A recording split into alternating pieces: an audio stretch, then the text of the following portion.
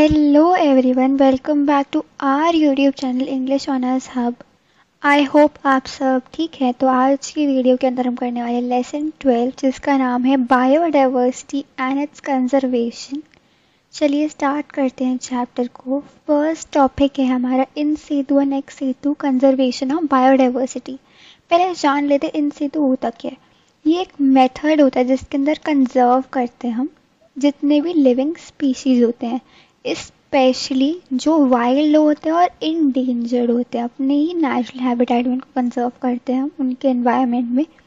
इनसे तो conservation of biodiversity में इंक्लूडेड होते हैं। Biospheres national parks wildlife sanctuaries etcetera India के पास 589 पीएस है मतलब कि प्रोटेक्टेड एरियाज़ जिसके अंदर से 89 नेशनल पार्क्स हैं और 500 बाकी के वाइल्ड लाइफ सेंचुरीज है ओवर 100 पीएज हैं जो कि अंडमान निकोबार में है, जो प्रिजर्व करता है स्पेशल आइलैंड इकोसिस्टम नेक्स्ट आता है हमारा एक्स सेतु कंजर्वेशन इसके अंदर कंजर्व करते हैं स्पीशीज को उनके नेचुरल हैबिटेट के बाहर।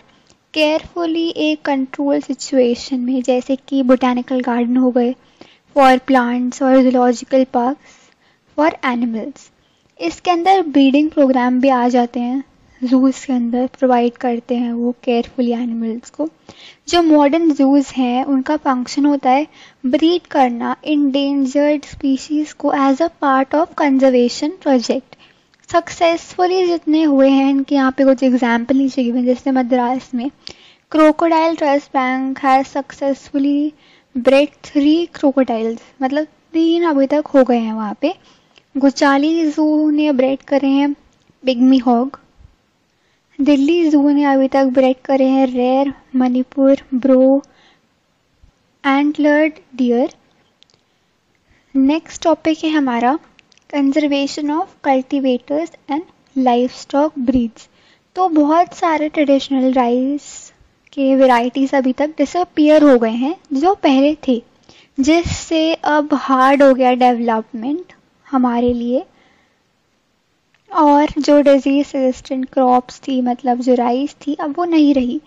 और यूज़ करना राइस को जीन बैंक से बहुत एक्सपेंसिव और रिस्की हो जाता है। सो so, फार्मर को इंकरेज करना चाहिए कि वो ट्रेडिशनल वेराइटीज़ यूज़ करे प्रिजर्व करे as an genetic diversity but लोग क्या इंटरेस्ट होते हैं? क्विक कैश जल्दी से बन जाए क्रॉप और जल्दी से कैश मिल जाए वो बेनिफिट जो मिल रहे हैं ट्रेडिशनल क्रॉप्स के वो अप्रिशिएट नहीं करते।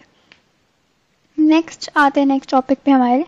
बायोलॉजिकल डाइवर्सिटी एक्ट 2002 तो बायोलॉजिकल डाइवर्सिटी एक नेशन के लिए एसिड हो जाती है। हेंस उसको कंजर्व करना एज एन बायोडाइवर्सिटी कंजर्व करना बहुत ग्रेटर सिग्निफिकेंस हो जाता है हमारे लिए। कुछ ऑब्जेक्टिव्स गिवन है हमारे यहाँ पे। पहला है टू कंजर्व कंजर्व करना, पहला इसका ऑब्जेक्टिव है। फिर क्या नेक्स्ट है? सस्टेनेबल यूज़ करना, जितने भी कॉम्पोनेंट्स हैं बायोडाइवर्सिटी के। नेक्स्ट ऑब्जेक्टिव है इनका, जितने भी बेनिफिट्स निकल रहे हैं बायोलॉजिकल डाइवर्सिटी उसको हर एक में इक्वली शेयर करना। अब नेक्स्ट हम देखते हैं कुछ प्रोविजंस ऑफ़ द एक्ट पहला देखते हैं कि जो जेनेटिक मटेरियल इंडिया का outside country specific approval India government की नहीं कोई बाहर भेज सकता। नेक्स्ट है, कोई भी आके क्लेम नहीं कर सकता किसी भी बायोडाइवर्सिटी पे पेटेंट इंडियन गवर्नमेंट के नॉलेज या परमिशन के बगैर। नेक्स्ट है, वही शेयर करना बेनिफिट्स जो भी आ रहे हैं biodiversity including transfer of technology monetary returns joint research and development joint IPR ownership etcetera next हम देखते हैं कैसे कंजर्व करते हैं सस्टेनेबल यूज़ करते हैं बायोलॉजिकल रिसोर्सेज सस्टेनेबल मतलब कम से कम यूज़ करना। हैबिटेट एंड स्पीशीज प्रोटेक्शन और प्रोजेक्ट्स ये कुछ प्रोजेक्ट्स हैं जो इसमें यूज़ होते हैं। नेक्स्ट है जेनेटिकली मॉडिफाइड ऑर्गेनिज्म को यूज़ करना। Setting up national state local biodiversity fund जिससे सपोर्ट मिल सके कंजर्वेशन के लिए। नेक्स्ट है setting up of biodiversity management committee local level पे लोकल विलेज लेवल पे स्टेट बायोडाइवर्सिटी बोर्ड्स के, जिससे अथॉरिटी मिल जाए कि हर एक जगह पे अथॉरिटी हो चलाने के लिए। नेक्स्ट है इस एक्ट के फ़ंक्शंस क्या होते हैं? पहला है एडवाइस करना सेंट्रल गवर्नमेंट को कोई भी मैटर रिलेटेड हो conservation of biodiversity next sponsor करना इन्वेस्टिगेशन या रिसर्च ज़्यादा से ज़्यादा लोगों को करना कि इन्वेस्टिगेशन करो इस मैटर पे. हायर करना short term consultant short period के लिए. सिक्स पॉइंट है हमारा कलेक्ट करना पब्लिश करना data related to conservation of biodiversity फिर जितना ज़्यादा हो सके मास मीडिया की तरफ़ बढ़ो और इंफॉर्मेशन पहुंचाओ। फिर एट पॉइंट रहेगा हमारा प्लान करना ऑर्गेनाइज करना ट्रेनिंग प्रोग्राम जो कि यहाँ पे लोग काम करते हैं बायोडाइवर्सिटी में। और नाइन पॉइंट रहेगा हमारा कि प्रिपेयर करना एन बी ए का एनुअल बजट टेंथ पॉइंट में हम देखते हैं। रिकमेंड करना सेंट्रल गवर्नमेंट को और पोस्ट बनाए। नेक्स्ट देखेंगे हम कि ऑफिसर्स जो है और सर्वेंट जो अथॉरिटी है, उनको अप्रूव करना रिक्रूटमेंट में जितने ज़्यादा हो सके, उतने ज़्यादा लोगों को यहाँ पे लाना। थर्टीन पॉइंट में हम देखते हैं कि रिटर्न इंस्ट्रक्शन दिए जाते हैं स्टेट बायोडाइवर्सिटी बोर्ड्स को, जिससे वो अच्छे से काम कर सके रिलेटेड टू बायोडाइवर्सिटी अब नेक्स्ट फोर्टीन में लिखेंगे हम। रिपोर्ट्स भेजते हैं सेंट्रल गवर्नमेंट को कि कैसे फंक्शनिंग हो रही है अथॉरिटी की इम्प्लीमेंटेशन ऑफ़ एक्ट सारे रिपोर्ट्स भेज जाती हैं उनको। लास्ट पॉइंट सिक्सटीन में हम देखते हैं। नेसेसरी स्टेप्स लें, जैसे कि लीगल एक्सपर्ट्स हायर करना और कोई भी इंडिया के बाहर, कोई भी इंडिया की बायोडाइवर्सिटी को क्लेम नहीं कर सकता पेटेंट पे क्लेम नहीं कर सकता इलीगल मैनर में। यहाँ पे हमारे सारे के सारे वाले फ़ंक्शंस ख़त्म होते हैं। नेक्स्ट टॉपिक पे बढ़ते हैं नीड ऑफ़ कंजर्विंग बायोडाइवर्सिटी क्या नीड है हमें? कुछ फैक्टर्स हैं जो बताते हैं कि क्या नीड है हमें। प्रेजेंट और पोटेंशियल यूज़ करना। क्या हमें पता नहीं है कि स्पेशली कि क्या यूज़ हो सकते हैं चीज़ों के। मे बी फ्यूचर में कोई अच्छा यूज़ हो जाए इन कंपोनेंट्स का। बायोडाइवर्सिटी एक एसेंशियल पार्ट है मेंटेन करने का अर्थ पे लाइफ सपोर्ट सिस्टम और इससे बायोस्फेयर भी सपोर्ट करता है ह्यूमन लाइफ जो कि बायोडाइवर्सिटी में आता है। नेक्स्ट हम इधर देख सकते हैं कंजर्वेशन और बायोडाइवर्सिटी में दो टाइप की कंजर्वेशन हमने पढ़ी है। इन सेतु और एक्स सेतु। इन सेतु में आ जाएँगे national parks wildlife sanctuaries biosphere reserve sacred groves ex situ में आ जाएँगे zoological parks botanical gardens gene banks cryo preservation next है, कैसे कंजर्व करना है हमें? बायोडाइवर्सिटी को मोस्ट ऑफ़ कंजर्वेशन पार्ट होता है इन सेतु और एक्स सेतु में। इन सेतु ऑलरेडी हम पढ़ चुके हैं, इन सेतु वो होता है जब हम प्रोटेक्ट करते हैं इंडेंजर्ड एनिमल्स या स्पीशीज़ को। उन्हीं के, खुद के हैबिटेट में।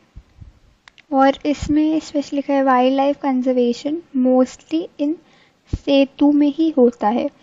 लार्ज रिज़र्व जो मेंटेन होते हैं, वो इधर ही होते हैं लार्जली स्पीशीज नेक्स्ट है एक सेतु एक सेतु मतलब प्रोटेक्ट करना इंडेंजर्ड प्लांट्स एनिमल्स को मूव करके एक सेफ़ प्लेस में उनके नेचुरल हैबिटेट में। ये ह्यूमन भी कर सकते हैं ट्रेडिशनली और न्यूअर टेक्निक से।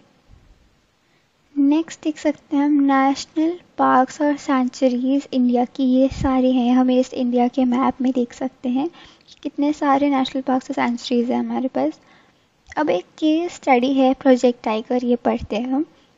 सो बेसिकली जो प्रोजेक्ट टाइगर था, ये लॉन्च हुआ था फ़र्स्ट अप्रैल 1973 और ये स्पॉन्सर किया था गवर्नमेंट ऑफ़ इंडिया ने, जिससे पॉपुलेशन ऑफ़ टाइगर और उसके नेशनल हैबिटेट बचा रहे।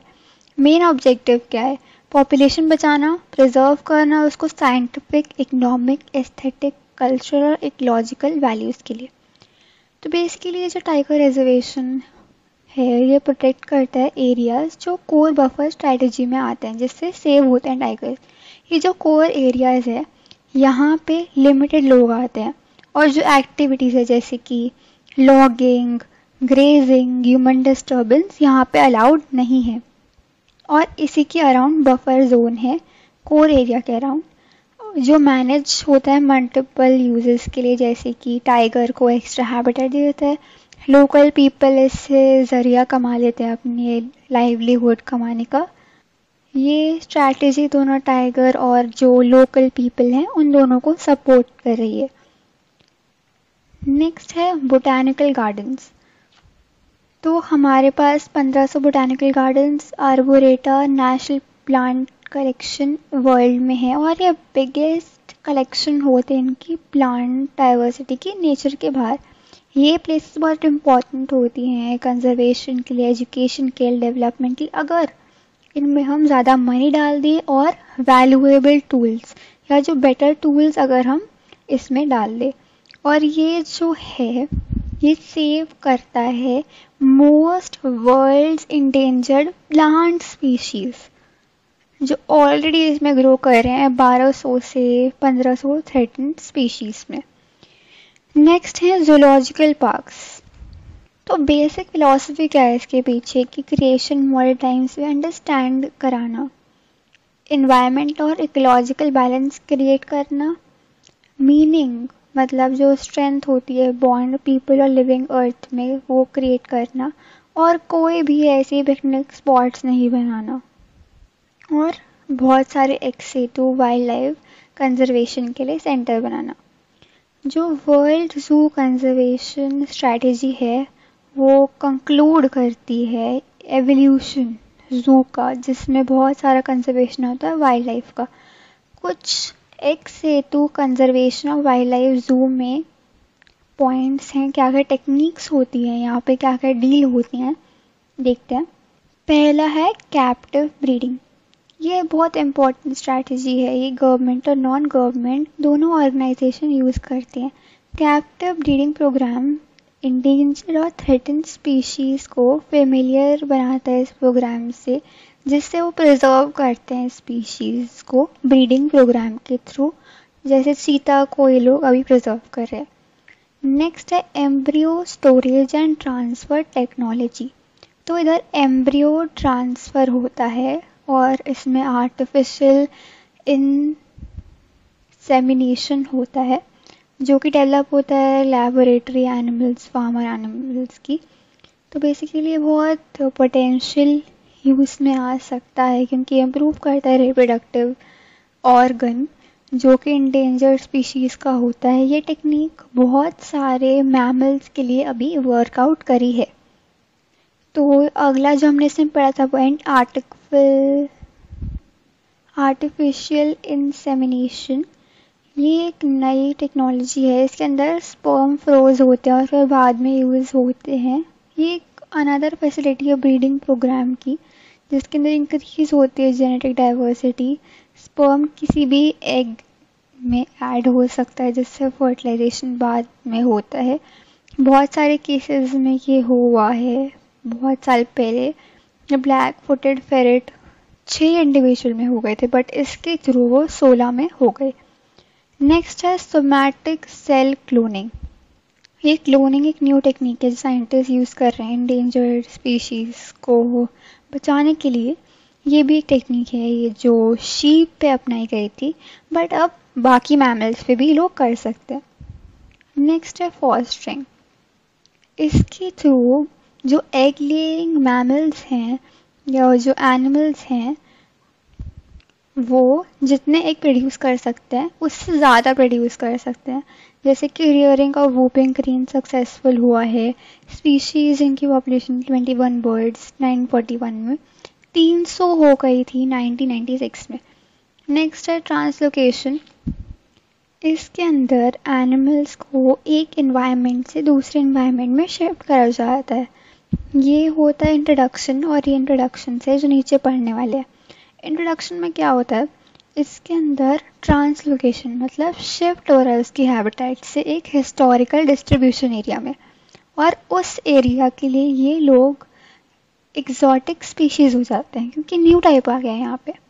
तो ये हैंडल होना चाहिए केयर के साथ एक्सट्रीम नीड्स के साथ। नेक्स्ट है री इंट्रोडक्शन इसके अंदर ट्रांसलोकेशन होती है। आउटसाइड कोई हिस्टोरिकल डिस्ट्रीब्यूशन इससे या तो जो एग्जिस्टिंग पॉपुलेशन है, वो बूस्ट हो जाती है या फिर न्यू पॉपुलेशन बनती है जब कोई ओरिजिनल पॉपुलेशन डाई हो जाती है। ये भी हैंडल होना चाहिए एक्सट्रीम केयर और नीड्स के साथ और इस पर भी स्टडी अच्छे से हो जाना चाहिए। सीड बैंक ये प्रिजर्व करता है जर्म प्लाजम को। सीड बैंक में या जीन बैंक में ये टेक्निक है ex situ conservation of plant species की। नेक्स्ट है सीड स्टोरिंग तो स्टोर करना जर्म प्लाज्म सीड बैंक बहुत इनएक्सपेंसिव रहता है और स्पेस एफिशिएंट रहता है, इससे अलाउ होता है large population little genetic erosion के साथ ग्रो करना। नेक्स्ट है हमारा point natural reserve natural reserve important होते हैं एक बायोडाइवर्सिटी कंजर्व करने के लिए। ये कंट्रीब्यूट करते हैं नेचुरल रिज़र्व ग्रोथ के लिए रीएम्फोसिस करते हैं लोग बायोडाइवर्सिटी में। जितने भी जो लॉस होते हैं, वो रिकवर हो जाते हैं। पहला है इसमें बायोस्फीयर रिज़र्व तो ये इंटरनेशनली रिकॉग्नाइज एरिया है जो प्रमोट करते हैं बैलेंस ह्यूमंस और बायोस्फेयर के बीच में। तो क्या हो रहा है? ह्यूमन की पॉपुलेशन इंक्रीज हो रही है और हम ज़्यादा से ज़्यादा नेचुरल वाइल्ड लैंड्स पे हम निर्भर हो रहे हैं और वाइल्ड स्पीशीज़ पे निर्भर हो रहे हैं, उससे इन सब की पॉपुलेशन कम होती जा रही है। और इसी के अंडर ये programme of biosphere reserve initiate हुआ था under man and biosphere programme जिसमें कंजर्व होता है हैबिटेट कंजर्वेशन होता है स्पीशीज कंजर्वेशन होता है। नेक्स्ट हम देखते हैं वेटलैंड्स इंडिया के वेटलैंड्स डिस्ट्रीब्यूट हुए हैं जोग्राफिकल रीजन्स रेंज करते हैं कोल्ड से वेट तक वार्म से ट्रॉपिकल तक वेट से सर्दन ऑफ़ पेनिनसुला तक। तो इंपॉर्टेंट क्यों है हमारे लिए वेटलैंड इसमें कुछ रीजंस दिए गए हैं। पहला रीज़न कि वेटलैंड एक गुड एग्ज़ाम्पल है। वेटलैंड जो एक टिपिकल एक रीजन के लिए हो सकता है, जैसे कि एक मैंग्रोव फॉरेस्ट है कैरेबियन में। वो एक रिप्रेजेंट करेगा उस टाइप का ट्रॉपिकल वेटलैंड नेक्स्ट है ट्रॉपिकल वेटलैंड प्ले करता है इंपॉर्टेंट रोल वाटर साइकिल में फ़ूड चेन में और बाकी इकोलॉजिकल प्रोसेस में जो इम्पोर्टेंट होते हैं इकोसिस्टम के लिए। जो वेटलैंड होते हैं, ये बहुत रेयर मिलते और अनयूजल होते हैं। ये जो वेटलैंड होते हैं, ये होम होता है बहुत सारी स्पीशीज़ का, जो रिस्क भी होते हैं एक्सटेंशन के। नेक्स्ट है वेटलैंड्स बहुत सारे फ़िश शेल फ़िश और इक्वेटिक ऑर्गेनिजम्स के घर होते हैं। For example Chilka in Orissa में बहुत सारे डॉल्फिन है जो मूव करते हैं अराउंड एरिया जहाँ पे लेक मीट करती सी में। वेटलैंड्स हेल्प करते हैं न्यूट्रिएंट रिकवरी में, साइक्लिंग में, रिलीज़ करता है एक्सेस नाइट्रोजन, डीएक्टिवेट करता है, फॉस्फेट रिमूव करता है टॉक्सिन्स, केमिकल और हैवी मेटल्स को अब्जॉर्बशन के थ्रू प्लांट और ट्रीटमेंट करता है वेस्ट वाटर का। और जो कोस्टल वेटलैंड्स होते हैं वो यूनिक होते हैं क्योंकि वो जो नेचुरल आ रहा होता है। बैरियर नेचुरल बैरियर ये बन जाते हैं। एरोजन जो कॉज होता है सी के द्वारा। सी लेवल राइज हो जाता है, जो मेजर जो थ्रेट होता है कोस्टल कम्युनिटीज़ के लिए बट एक्सपर्ट बिलीव करते हैं। ये जो नेटवर्क है मैंग्रोव का, ये उन्हें प्रोटेक्ट कर सकता है। मैंग्रोव वेटलैंड इन इंडिया और बांग्लादेश ऑलरेडी एक्ट करते हैं इसके लिए। और स्टॉम से बचाते हैं, जो बे ऑफ़ बंगाल से आ रहा है। वेटलैंड्स हेल्प करते हैं फ्लड को कम करने के लिए रिचार्ज करते हैं ग्राउंड वाटर रिड्यूस करते हैं सरफेस रन ऑफ़ और इरोजन्स और नेक्स्ट है हमारा नेचुरल वेटलैंड्स ऑफ़ इंडिया तो जितने भी वेटलैंड्स हैं इंडिया के, वो कनेक्ट होते हैं रिवर सिस्टम से नॉर्थ और साउथ के, और दूसरे हाथ पर ये बहुत सारे पर्पल सॉल्व करते हैं, जैसे कि लॉन्च हुए हैं जिससे रिवर सिस्टम बेटर हो सकें जो प्रोवाइड करते हैं वेटलैंड्स बेटर कर देते हैं। एग्ज़ाम्पल हरी के बैरेज जो कि ब्यास और सतलुज में है, पंजाब के वहाँ पे, भाखरा नंगल डैम पंजाब में कोसी बैरेज बिहार, नेपाल के बॉर्डर पे। मेजर कंसंट्रेशन मैग्रोव्स कंट्री में हमारे सुंदरबन और अंडमान निकोबार आइलैंड के वहाँ पे। जो होल्ड करते हैं 80 परसेंट ऑफ़ मैंग्रोव्स इंडिया में। नेक्स्ट टॉपिक है हमारा हॉट स्पॉट ऑफ़ बायोडाइवर्सिटी ये देखा गया है कि कितने सारे स्पीशीज अर्थ पे एक कंसंट्रेट हो रखे हैं एक स्पेसिफिक रीजन पे मतलब इधर एक जगह पे वही स्पीशीज हैं। क्यों? क्योंकि ये जो स्पॉट्स हैं ये पॉजेस करते हैं क्वालिटीज़ जिससे यहाँ पे हाई स्पीशी रिचनेस हो सके। जोग्राफिकल रीजन जो सपोर्ट करे। स्पीशीज को थ्रेटन हो जाते हैं डिस्ट्रक्शंस उन्हें कहते हैं हॉटस्पॉट हॉटस्पॉट और बायोडाइवर्सिटी वो जगह होती है जो कि जहाँ बहुत सारे रिचनेस मिलती है हमें स्पीशीज़ की बट फिर भी थ्रेटेंड होते हैं हमारे ह्यूमन हैबिटेशन की वजह से। नेक्स्ट है कि हम कैसे आइडेंटिफाई कर सकते हैं कि ये ही है हॉटस्पॉट दो कैटेगरीज होती हैं। पहली कैटेगरी हम देखते हैं एरिया जिसमें हाई परसेंटेज मिले हमें प्लांट लाइफ का, जो और कहीं नहीं मिलेगा। वैसे प्लांट उधर ही उस एरिया में हो और वो हॉटस्पॉट इरिप्रेसिबल हो। उस एरिया में 30 परसेंट और लेस उसकी ओरिजिनल वेजिटेशन होनी चाहिए जो इंडेंजर्ड हो या थ्रेटेंड हो, और एट प्रेजेंट 36 हॉटस्पॉट हैं। वर्ल्ड में और आउट ऑफ़ दीज 36 हॉटस्पॉट चार हॉटस्पॉट इंडिया में हिमालयज में इंडो बर्मा में सुंदरलैंड्स में और वेस्टर्न घाट्स और श्रीलंका में। I C U N red list ये आई सी यू एन एक ऑर्गेनाइजेशन है जो रिस्पॉन्सिबल असेसमेंट स्पीशीज़ करता है सर्वे करता है, जिसमें मॉनिटर करता है स्पीशीज़ हर कंट्री के और उनको डिफरेंट कैटेगरीज में डालता है। और ये पब्लिश होती है सबकी रिपोर्ट रेड डाटा लिस्ट में।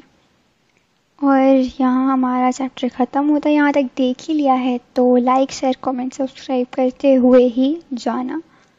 और अगर कुछ समझना है तो कमेंट डाउन कर देना। और ये आपको पीडीएफ फ्री में, बिल्कुल फ्री में हमारे टेलीग्राम चैनल पे मिल जाएगा। And till then thanks for watching bye bye खत्म। Bye bye tata goodbye